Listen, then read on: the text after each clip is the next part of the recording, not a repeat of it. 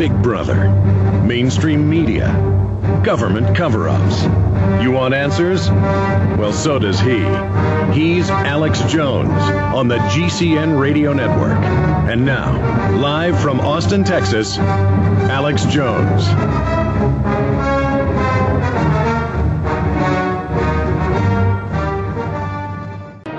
Tommy, why don't you tell us about the new project? Obviously, we've seen you in uh, American Drug War, very powerful in that, you know, along with uh, Freeway Ricky Ross and others. Just an excellent film by Kevin Booth. But what's this? Uh, what's this other project? Well, AKA Tommy Chong is is uh, the film was, that was made by Josh Gilbert about uh, me, uh, my my trials and tribulations going into prison. Mm-hmm. It shows me uh, before, uh, during, and after the prison thing. But uh, the, uh, there was an interesting development that just happened two days ago. Uh, the the feds, the same people that put me in jail originally, uh, Mary Beth uh, Buchanan or Mary Beth uh, Loose Loose Cannon, as I call her.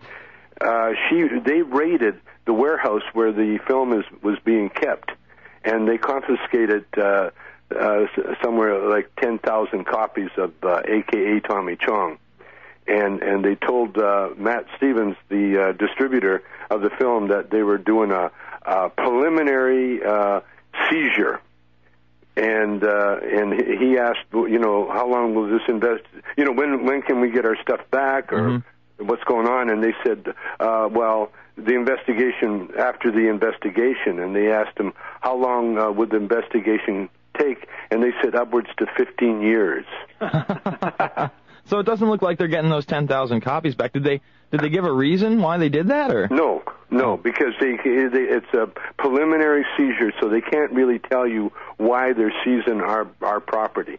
And this is really odd to me because there's a ton of different marijuana type film documentaries out there. I think the latest is Super High Me, and that's not getting rated. That's not getting taken out. It seems like when you try to take a political perspective and expose those that are hypocrites, like you just said, you know, Mary Beth Buchanan in Pennsylvania, uh, you know, where a plane went down, supposed terrorist took it down. It seems like we've turned into the terrorists after 9/11. It seems like you know Patriot Acts one and two, and even the Military Commissions Act is really there for the U.S. citizen and not so much the spooky terrorist. Well, you know, this is Kevin uh, talking. You know, the, your guest on earlier was talking about how people didn't used to fear the police. Um, you know, I would say that the, the the last 37 or so years of the drug war have been a, a perfect way to change how everyone views police, and the drug war is a perfect way of making everybody so we fear the police now. Um, it's it's really it's changed the game uh, while also dumbing down America. And you know what other better boogeymen are there that can never be defeated but drugs and terror? Well, how can you ever defeat drugs or terror? There's no way to do those things. So it's it's a perfect uh, it's a perfect you know psyop on us. Yeah, it's a perfect ongoing war and a perfect way to get funding again and again and again and again. And then I would say even even another aspect of this is when they jail these people for nonviolent drug crimes, they're in these prisons working for privatized corporations at about 39 cents an hour, sometimes doing telemarketing. It's a perfect scam. It- They they make money coming and going and every which way in between. Tommy, what what's your view on the war on terror right now? On the war on terror? Yes. Well, uh, obviously, it was uh, manufactured, uh, you know, uh, purposely or inadvertently by by this administration or by the Republican Party in order to keep, uh, in order, first of all, in order to get them elected, and second of all, in order to keep uh, their their cronies that are making millions and billions of dollars off that, uh, keep. See, money is made with chaos. Whenever there's chaos or martial law, you know, uh, declared, then uh, these huge corporations can come in and and just uh, rape and and, and pillage uh, the villages without uh, opposition. In fact, they, they do it under the guise of uh, of uh, of um, you know being trying to create law and order. You know, like they like they try to create peace uh, uh, in in Iraq.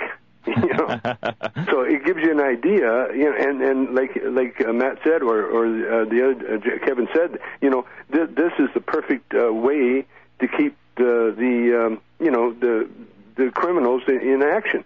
You know, it's rats in the pantry is, is, is what I call it. You know, and and so I I feel you know. uh what I learned in, in, in prison is is that uh, the universe is perfect, and for every action there's a reaction. It's called karma, whatever you want to call it.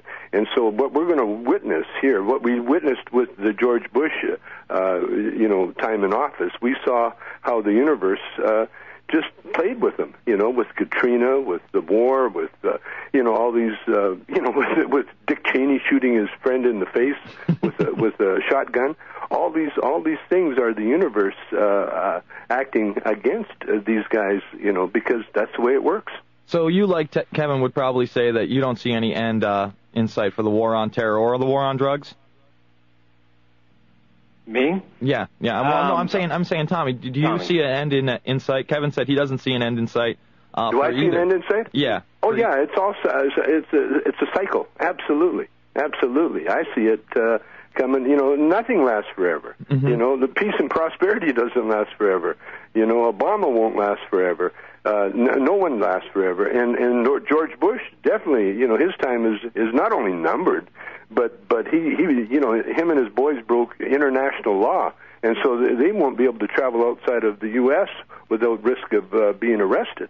So, so oh yeah, karma is is is a bitch, boy. When it comes down on you, it comes down on you, and and and that's what kept me uh, uh, going. You know, while I was in in jail, I I just used that time, you know, to to write a book and to become an activist and to to let you know travel around the country and to to to show people like Mary Beth Buchanan, you know her actions, you know, I mean, it's done secretively, and but I'm going to be on every major talk show, eh, you know, just talking about it and talking about it until until I, you know, I embarrass uh, the government so much that that they just, they're just going to have to knuckle un- under and and and give up this stupid uh, attitude they have.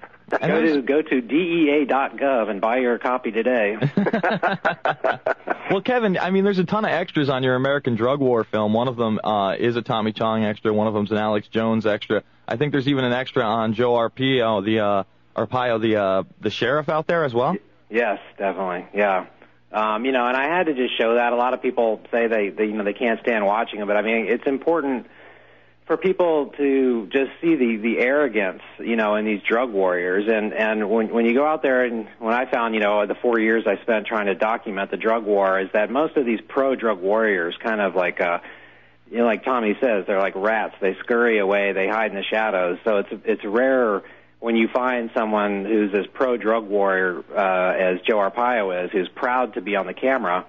And so, you know, that's why you know it's important for people to see that face and to hear him talk, and just the the level of self righteousness and it, and just the denial of hypocrisy, just like what we're seeing right now. Uh, in this massive San Diego bust, where now something like 250 students aren't going to be graduating, all because one girl OD'd on cocaine. Well, I looked it up, and you know the hazing deaths. I mean, you know how many students die from hazing every year? So, once again, it's it, it's okay if you die from alcohol. It's okay if you die from cigarettes. It's certainly okay if you die from any number of pharmaceuticals.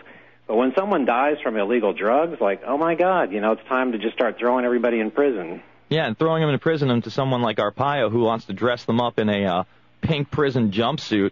And I think it says something like I was a drug addict on it, put on a chain gang, really dehumanizes his prisoners, at least from what I've seen. I mean, that's all over the place. They they did that in, in the prison. This is Tommy Chong. Uh, I was that, you know, de- dehumanizing people. They had a transvestite that still had her uh, her penis, but she had breasts, and uh, and so she was like a, a, an oddity in in and ugly as sin, by the way.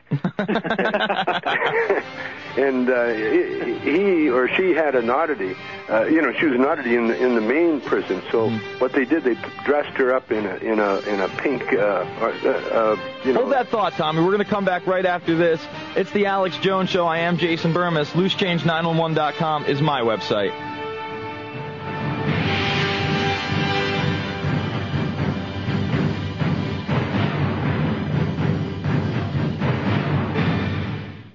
Uh, we're talking to Tommy Chong right now, and before we get back to the uh, prison and dehumanization, Tommy, you mentioned how these people like to create order out of chaos. And I just have to ask you, because a lot of people have talked about this on this program. What's your view on 9/11? We've had people like Willie Nelson, Jesse Ventura, um, you know, senators, congressmen come on and doubt the official version. Do you doubt the official version of 9/11, Tommy? Oh, oh, absolutely, absolutely. There, there are so many horror stories about 9/11 that have been been, been kept quiet. That uh, you know, I mean, it'll be like the Kennedy assassination. You know, years later we'll find out the truth. Mm-hmm. Absolutely. Well, what do you think some of the biggest inconsistencies in the official version are? Well, uh, the, the the biggest inconsistency is the fact that who was allowed to fly after the, everything was shut down. Mm-hmm. It was uh, the Bin Ladens. You know? Yeah, absolutely. I mean, they blame this Yeah. guy, and then Yeah. they let the family go Yeah, while everybody else is grounded. Yeah, it would have been great to have them to, to to ask them some questions or to torture them. Actually, you know, once once uh, you know we got Bush, you know, got the torture thing under under his belt.